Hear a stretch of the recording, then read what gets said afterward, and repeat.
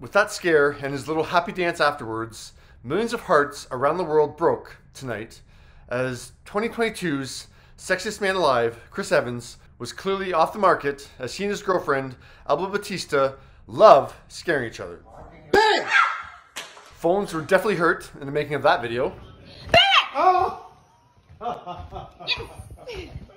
Chris posted a compilation of these scares that him and Alba gave each other throughout the year, confirming that they are a couple, apparently since 2021 as well. Was I speaking to myself this whole time? Baby! Focus! Some would call this an adorable video, some people would call it an annoying video. Some people were upset that their non existent chance with Chris was even more non existently away. Baby!